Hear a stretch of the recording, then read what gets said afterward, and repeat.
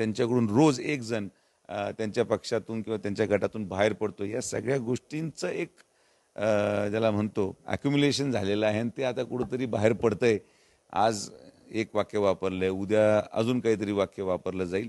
तर हे सगळं त्यांच्या या सगळ्या राजकीय परिस्थितीवर त्यांच्यावर झालेल्या परिणामाचं स्वरूप आहे की या पद्धतीचं स्टेटमेंट ते करत आहेत. आणि आता काय ते अनेक त्याच्यावर टीकाटिप्पण्या झालेल्या आहेत. मी सर्वात प्रथम या पूर्ण वाक्याचा निषेध करेल.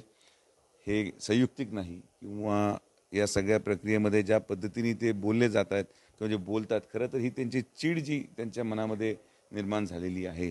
त्याच्यातून हे सगळी वाक्यरचना त्याच्यातून बाहेर येत आहे. कारण की ज्या पद्धतीने आज महाराष्ट्रामध्ये वातावरण होत आहे विकास कामाच्या माध्यमातून जनतेचं मतपरिवर्तन होत आहे ह्या सगळ्या गोष्टी पाहता त्यांच्याकडून रोज एक जण त्यांच्या पक्षातून किंवा त्यांच्या गटातून बाहेर पडतो या सगळ्या गोष्टींचं एक ज्याला म्हणतो अक्युम्युलेशन झालेलं आहे आणि ते आता कुठंतरी बाहेर पडतंय.